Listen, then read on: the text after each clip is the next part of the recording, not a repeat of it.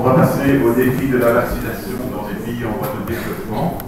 Et la parole est au docteur Smith Steps de l'UNP pour un vaccin contre Streptococcus pyogenes à l'horizon 2020.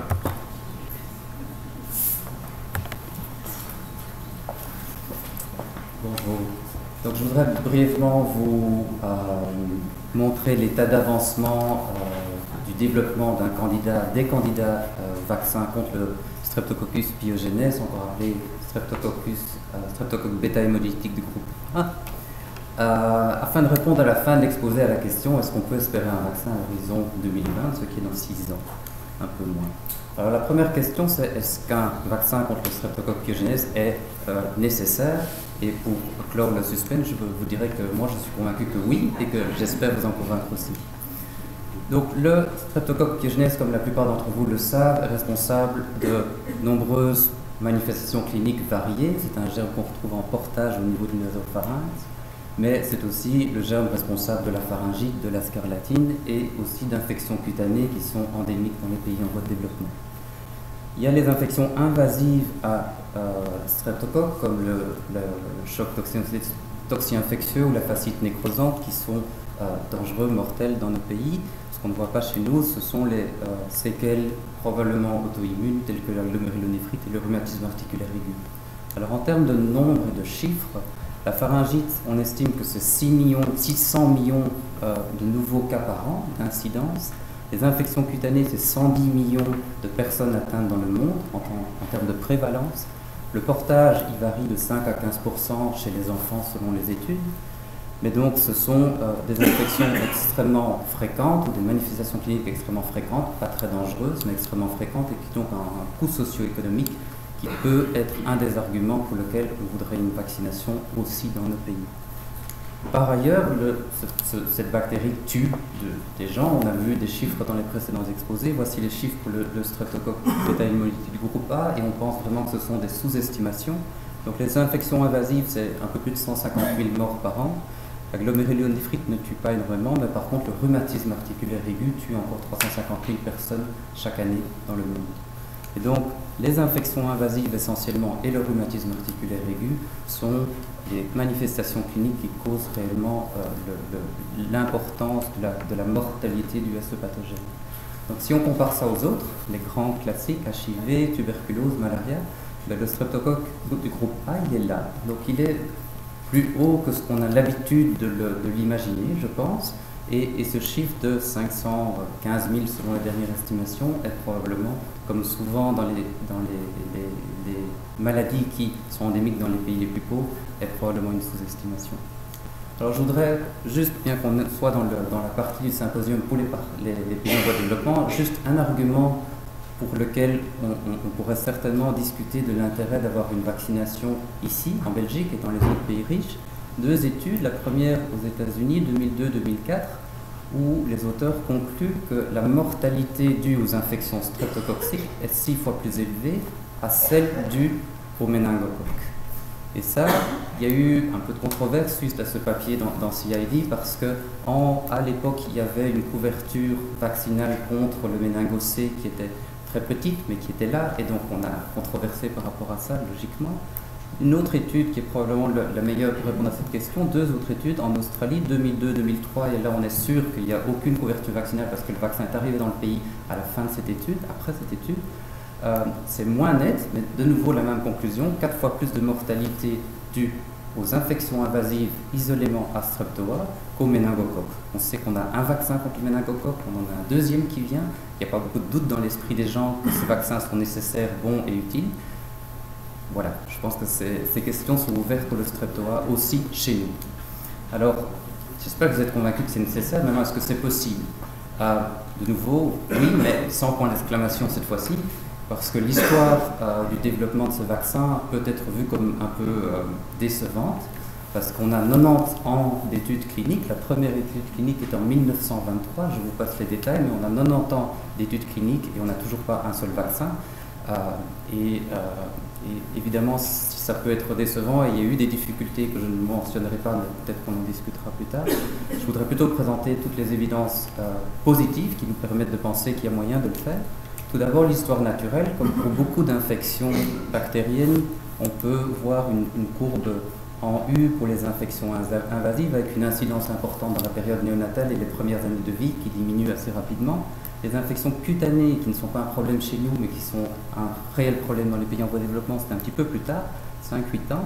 Et puis la pharyngite qui est globalement 5-15 ans, mais qui pique autour de, 10 à 12 ans. Et puis ça disparaît. Donc clairement, notre système immunitaire, probablement, euh, mature et acquiert la capacité d'être protégé pendant les années euh, suivantes contre les infections streptococciques. Donc évidemment, le but de la vaccination serait d'induire ce qui se passe dans l'histoire naturelle de la maladie plutôt dans, dans l'histoire d'un enfant.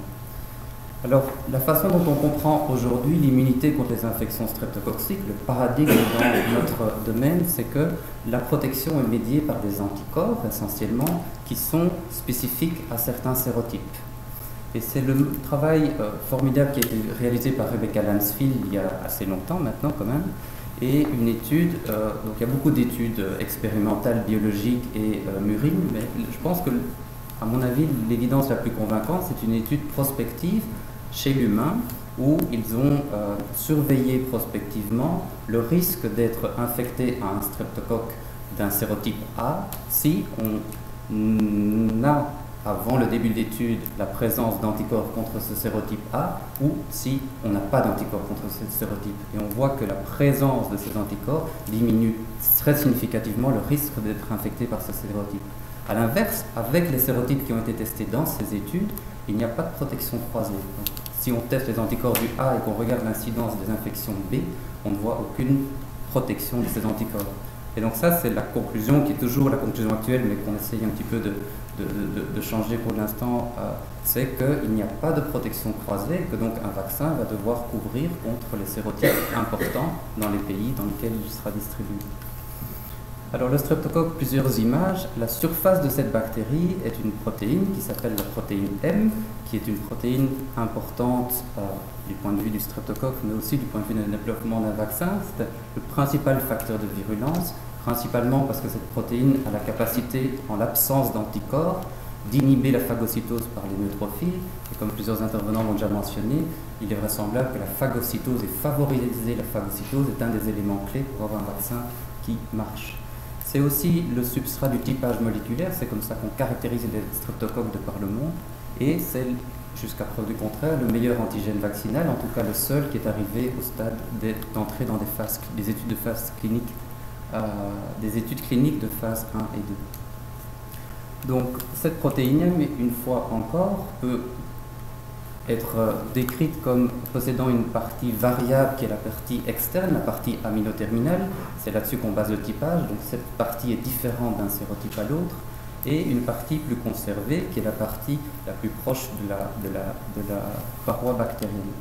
Alors une stratégie de vaccin qui est développée par Jim Dale essentiellement aux États-Unis a été de euh, réaliser quatre protéines recombinantes qui incluent des peptides de 26 des sérotypes qu'il a jugés à l'époque les plus importants.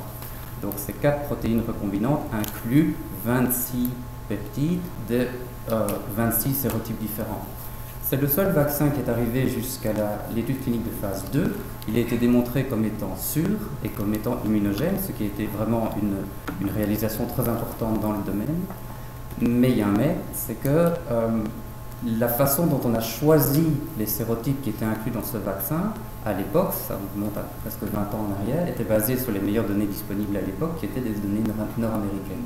Et donc les sérotypes qui ont été inclus dans le vaccin étaient les sérotypes qui ont été associés essentiellement dans le passé au rhumatisme articulaire aigu aux États-Unis, les sérotypes associés aux infections invasives et aux pharyngites, de nouveau aux États-Unis et au Canada. Et donc, les couvertures sont fort bonnes aux États-Unis et au Canada, les couvertures sont probablement fort bonnes en Europe aussi, mais elles ne sont probablement totalement insuffisantes dans les pays en voie de développement.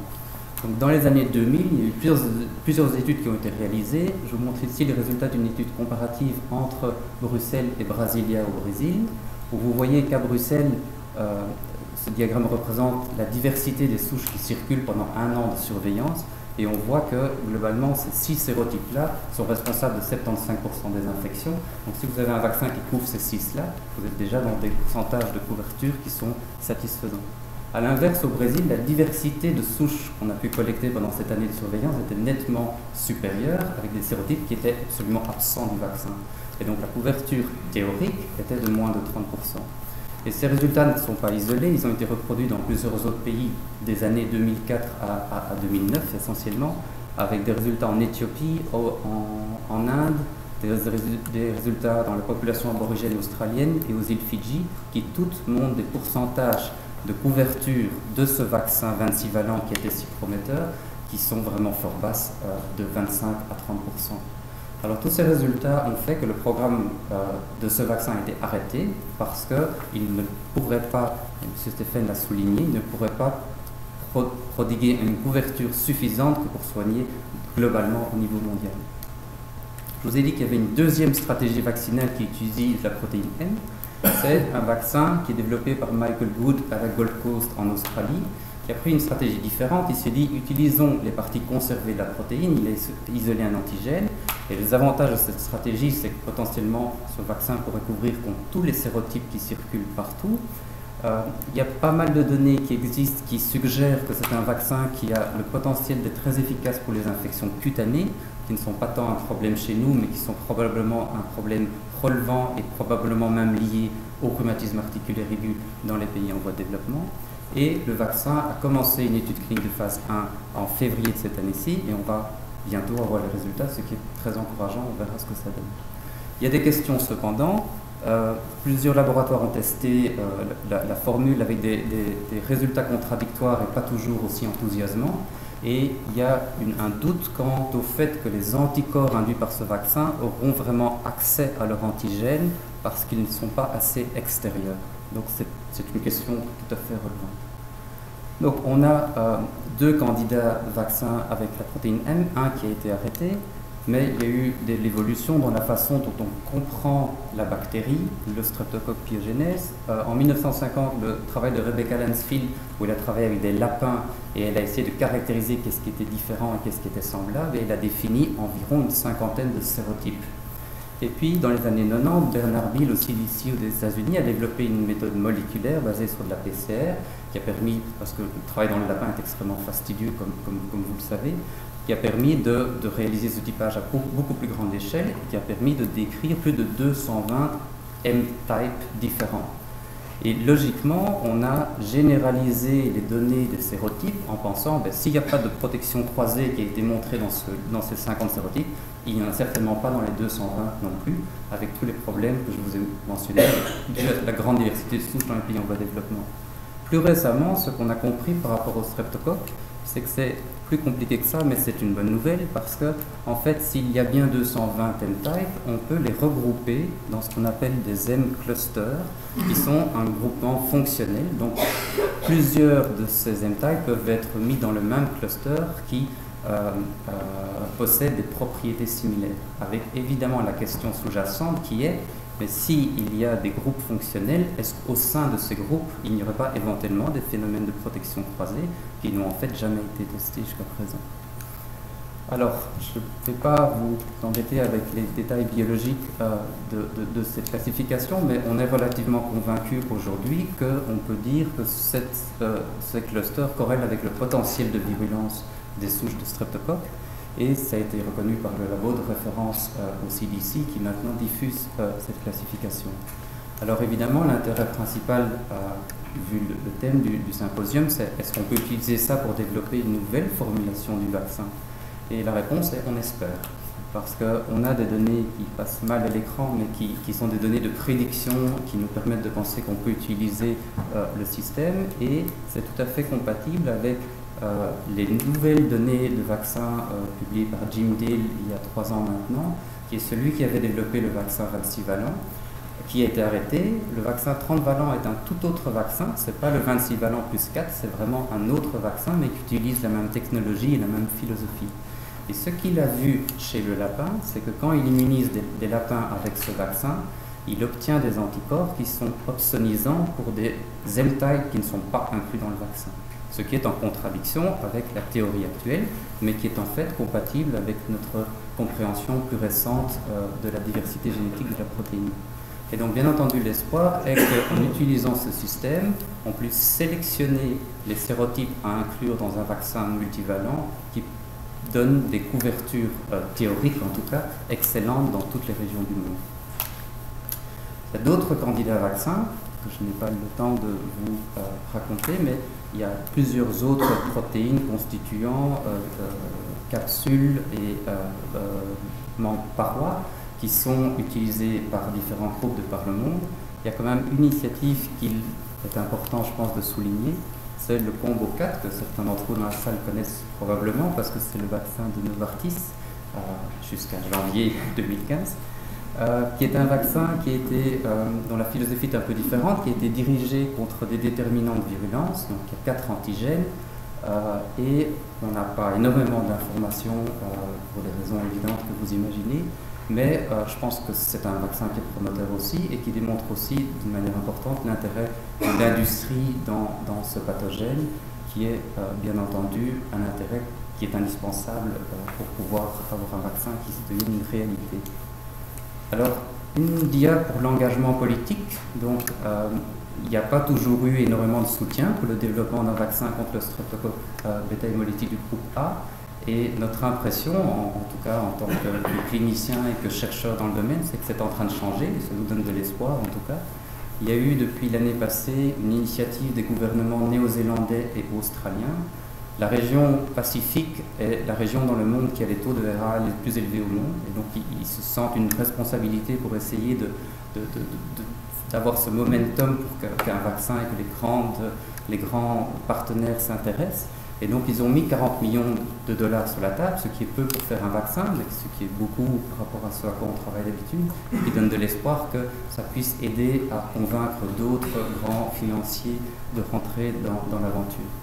Alors l'OMS, euh, qui n'a pas toujours été très intéressé par le streptoa non plus, a récemment manifesté son intérêt et a demandé d'écrire un, document de, rapport et donc est en train d'analyser si le streptoa peut rentrer dans sa liste de pathogènes prioritaires ou non.